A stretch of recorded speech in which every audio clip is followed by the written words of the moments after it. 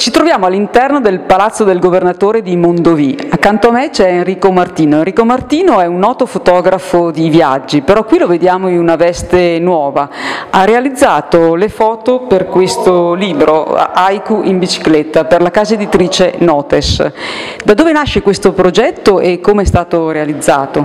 Ma il progetto è nato da un precedente libro sugli haiku, eh, quindi il, dal, da un primo libro sugli haiku per bambini e a questo punto punto eh, è nata l'idea di abbinare il concetto degli haiku e il concetto della bici che hanno diciamo, dei, dei, punti in comune di non invasività, di eh, diciamo, essenzialità eccetera. E, mh, però per, visto che già l'haiku è un qualcosa di diverso, è un linguaggio non nostro diciamo comunque, abbiamo, cercato di, abbiamo pensato di utilizzare un altro linguaggio, cioè non le classiche illustrazioni, anche questo non è un libro per bambini, in realtà è un libro per qualsiasi età, no?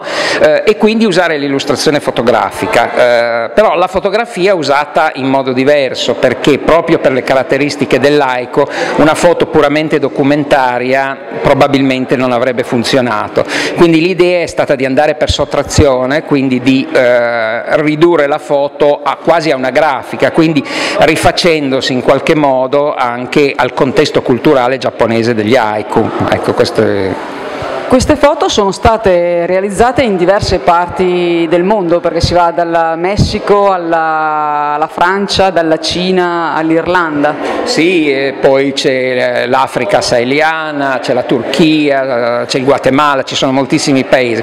In realtà eh, proprio eh, facendo questo lavoro di ricerca mi sono reso conto che c'era un fil rouge diciamo, della bicicletta nelle mie foto ed era una bicicletta, noi pensiamo molte volte alla bicicletta come uso per il tempo libero, come un qualcosa di, di, diciamo, di, di vacanziero quantomeno, no? mentre invece questo era un uso della bicicletta soprattutto per lavoro, cioè un'altra bici, no? eh, e eh, in questo senso eh, c'è un percorso omogeneo attraverso le fotografie, perché sono tante culture, tanti contesti, però eh, li unisce questo discorso de della bici e della bici da lavoro, perché quasi tutte queste foto sono state prese in situazioni di, di vita reale reale e di, in reportage di lavoro, cioè non è nato come un reportage sulla bici, però è stato costruito come una ricerca posteriori in questo caso.